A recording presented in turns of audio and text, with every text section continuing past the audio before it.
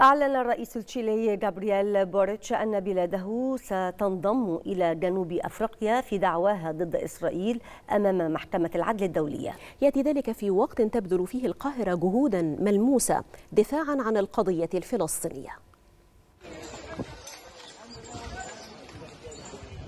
ضغط دولي غير مسبوق وتطورات لا تنتهي والهدف واحد وهو إيقاف قوات الاحتلال الإسرائيلي عن عدوانها الغاشم على قطاع غزة وإنهاء جرائمها التي فاقت الحدود. ففي تطور جديد وهام بساحة القضية الأبرز في العالم أعلن رئيس تشيلي جابرييل بوريتش أن بلاده ستنضم إلى جنوب أفريقيا في دعواها ضد إسرائيل أمام محكمة العدل الدولية.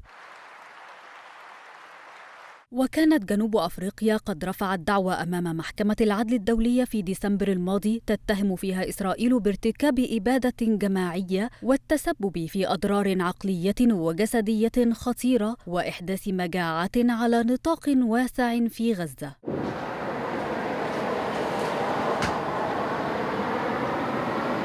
خطوة تشيلي لم تكن الأولى بل سبقتها عدة دول في ذلك والتي كان من أبرزها مصر التي تحركت انطلاقا من أهميتها وثقلها السياسي لتعلن في مايو الماضي اعتزامها التدخل رسميا لدعم الدعوة التي رفعتها جنوب أفريقيا بموجب اتفاقية منع جريمة الإبادة الجماعية والمعاقبة عليها في قطاع غزة.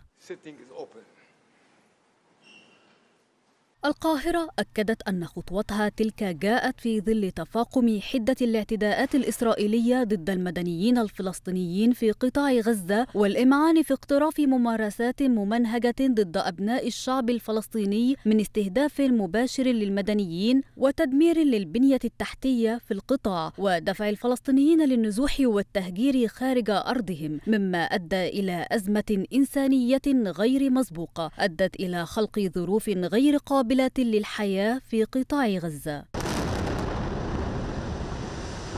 هي إذا تحركات كبيرة وجهود دولية لا تنتهي لمساندة الشعب الفلسطيني الذي يئن تحت وطأة العدوان الغاشم ولوضع حد لمأساة إنسانية فقد بشاعتها ما يمكن وصفه بالكلمات.